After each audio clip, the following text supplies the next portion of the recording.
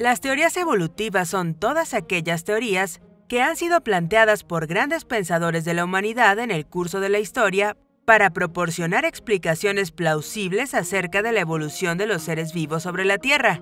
Desde el comienzo de las sociedades humanas, el hombre se ha preguntado de dónde viene y de dónde vienen los seres vivos a su alrededor, por lo que la evolución ha sido objeto de intensos debates desde hace muchos siglos, fuertemente influenciados por creencias filosóficas, religiosas y más recientemente, científicas. No obstante, como corriente del pensamiento científico, el evolucionismo nació, probablemente, con las teorías de Charles Darwin, 1809-1882, un científico inglés que dedicó parte importante de su vida al estudio de los efectos de la selección natural y de las adaptaciones sobre las especies. ¿Qué es la evolución?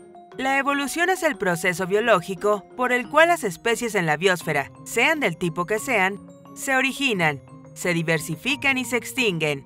A través de evidencias fósiles, la evolución busca explicar los cambios y las transformaciones que atraviesan las distintas especies a lo largo de su historia. Puesto que Darwin marcó un precedente revolucionario en el mundo científico, es considerado como el padre del evolucionismo. Hoy en día enlistamos las teorías evolutivas como predarwinistas y darwinistas, haciendo alusión al contexto histórico y científico en el cual éstas fueron formuladas. Teorías predarwinistas Existieron muchos pensadores predarwinistas que en su época se dedicaron al estudio de los seres vivos y a la búsqueda de respuestas a las múltiples cuestiones relacionadas con su evolución. Aristóteles y la inmutabilidad de los organismos. Aristóteles, 384-322 a.C., fue quizás uno de los primeros pensadores en realizar un sistema de clasificación jerárquica para los seres vivos. Este insistía en la inmutabilidad y la perfección eterna de las especies, así como en la existencia de un orden jerárquico progresivo, es decir, ascendente, en cuya cima se situaba el hombre, Aristóteles aseguraba que el orden así propuesto respondía a una fuerza vital y que no había nada que condujera a cambios fundamentales en los individuos. De allí la teoría de la inmutabilidad, es decir, de los seres vivos creados y no propensos al cambio. James Asher y el Día de la Creación.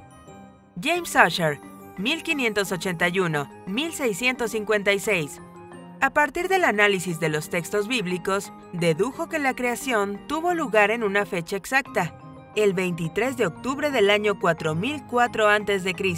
Sus afirmaciones, por lo tanto, proponían que la Tierra tenía una edad no mayor a 6.000 años y que Dios creó una infinidad de criaturas, cada una superando a la siguiente, formas simples y formas complejas, incluyendo a los seres humanos, tal y como los conocemos en la actualidad, es decir, Inmutables. La fuerte influencia de la religión sobre el pensamiento científico fue evidente hasta bien entrado el siglo XIX. Esto se demuestra en la historia por el hecho de que los pensadores de finales del siglo XVII y principios del siglo XVIII se dedicaron llanamente a la descripción de plantas y animales y no a cualquier intento por explicar cómo adquirieron sus características y formas. Carolus Linnaeus, 1707 1778, por ejemplo, fue un naturalista botánico que dedicó inmensos esfuerzos a la descripción de la naturaleza, aparentemente revelando el orden inmutable de la vida que había sido creado por Dios. Giorgio Louis Leclerc y la generación espontánea, también conocido como el Conde de Buffon. Leclerc, 1707-1788, era partidario de la idea del origen de la vida a través de la generación espontánea y de la existencia de un plan maestro inherente a la naturaleza. De cierto modo refutaba la concepción aristotélica de la inmutabilidad, pues llegó a proponer que las especies tenían la capacidad de cambiar en el tiempo, quizá por la influencia del ambiente o por mero azar. Como parte de sus especulaciones, además, Leclerc propuso que la Tierra tenía por lo menos 75.000 años de antigüedad, y entre sus notas incluso insinuó que el hombre y los simios estaban relacionados de algún modo. Jean-Baptiste de Marck y la teoría de los caracteres adquiridos. Tal vez el primer verdadero evolucionista predarwiniano fue Lamarck, 1744-1829, un naturalista francés que publicó una teoría evolutiva engendrada a partir de observaciones de fósiles de invertebrados depositados en el Museo de Historia Natural de París. Según este personaje, todos los organismos poseían una tendencia progresiva interna que los forzaba a elevarse en la escala natural, es decir, que los seres vivos efectivamente cambiaban en el tiempo, teniendo siempre una versión mejorada de sí mismos.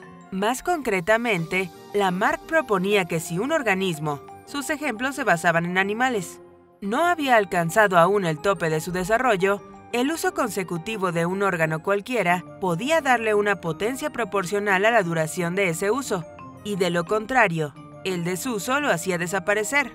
En pocas palabras, Lamarck estableció que, por ejemplo, si una jirafa era incapaz de alcanzar las hojas más altas en la rama de un árbol, su cuello gradualmente iría alargándose, y estos pequeños cambios debido al uso serían transmitidos a la generación siguiente, y luego a la siguiente, y así sucesivamente, hasta que uno de los individuos lograse alcanzar dicho alimento. Giorgio Cuvier y la teoría del catastrofismo. Poco después de que Lamarck hiciera públicas sus teorías, algunos científicos se dieron a la abnegada labor de desacreditarlas. Entre estos figuró Giorgio Cuvier, 1769-1832, un naturalista francés que fue el primero en documentar la extinción de animales antiguos. Era experto en dinosaurios. Sus ideas fueron resumidas en la doctrina del catastrofismo, en la que se explicaba la evolución a través de violentas catástrofes, inundaciones, formaciones montañosas, etc., que ocasionaron la pérdida de numerosas especies y el desarrollo de nuevas. Con esta teoría, Cuvier y los demás adeptos buscaban explicar las diferencias abruptas entre los registros fósiles y los cambios repentinos que se percibían en las especies extintas. Charles Lyell y el uniformismo. El catastrofismo de Cuvier fue refutado por Lyell, 1797-1875, quien propuso una teoría evolutiva conocida como el uniformismo. De acuerdo a ella, la evolución de las especies estuvo fuertemente influenciada por cambios lentos y graduales que tuvieron lugar desde el comienzo de los tiempos en la superficie terrestre y que son imperceptibles para el ojo humano.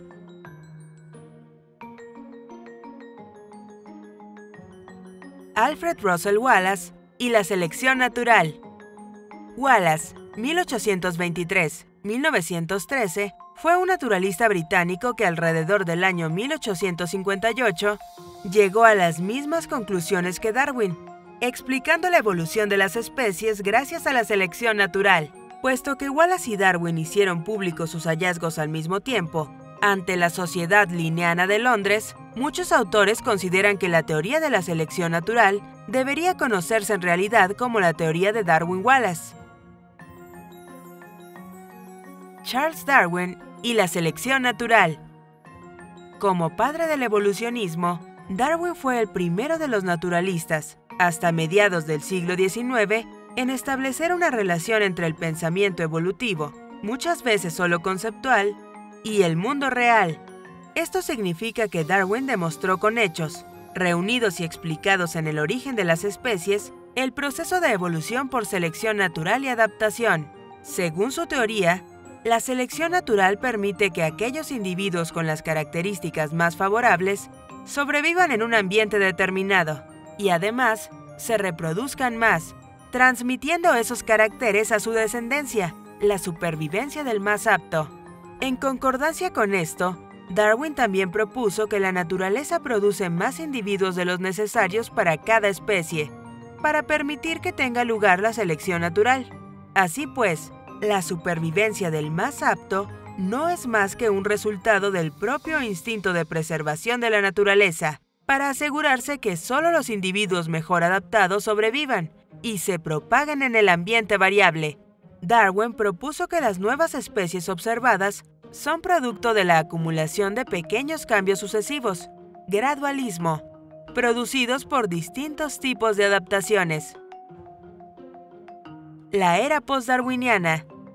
Las teorías darwinistas sobre la evolución tuvieron mucho apoyo en la comunidad científica, al igual que lo tuvieron posteriormente las teorías mendelianas sobre la herencia de los caracteres y la teoría cromosómica de la herencia. Sin embargo, durante muchos años estos enfoques parecían divorciados o incompatibles, hasta el surgimiento de la teoría sintética de la evolución, también conocida como la síntesis moderna o el neodarwinismo. Gracias a los aportes de científicos como S. Wright, J. Haldane, R. Fisher y Ted Opsamsky, esta teoría cuenta ahora con las bases moleculares para explicar el efecto de la selección natural sobre las variables de las especies, de sus poblaciones, o mejor dicho, sobre las frecuencias alélicas de una población.